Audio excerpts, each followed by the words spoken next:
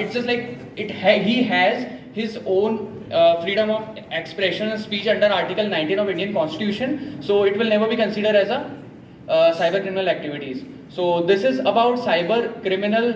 Uh, now we are talking, going to talk about uh, various hackers like white hat hackers, grey hat hackers, unethical hackers. So there are various fo- long forms of it. So if a person is aware, then only he can be, it can be prevented. There are other preventive measures as well, which we are going to talk later on. So now let's come to cyber security. What is cyber security? Cyber security is a type of a security which is given to the data of an individual. If the data of an individual is secured, if it is secured, then the cyber security will work. And the main purpose of the cyber security is just to defend the system of a person. Because if a person's computer system is defended, def, uh, defended, then the uh, viruses, unknown viruses will never enter in that. So cyber security is that. And uh, now the cyber security has its own types like network security, system security, application security, and uh, in information security. So these type four types of security which has been given.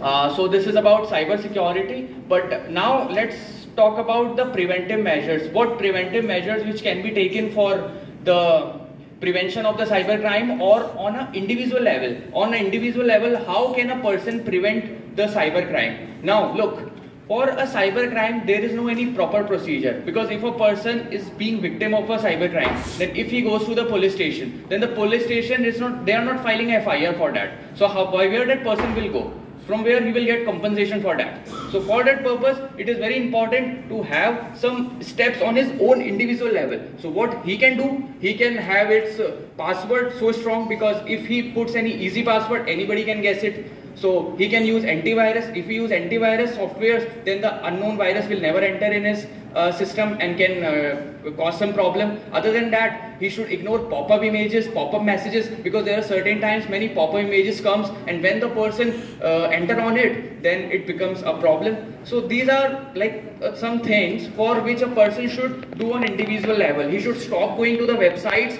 and to the other things, other uh, application which you don't know anything about because if he downloads some applications which he don't know anything about then how it's going to uh, help him because the virus will enter in his system. So for that purpose, these preventive measures, if taken by a person, then this cyber uh, crime can be stopped, not prevented. Because a person cannot prevent it over a night. Because it is actually a wide scope has been widened along with the technology which is which is going.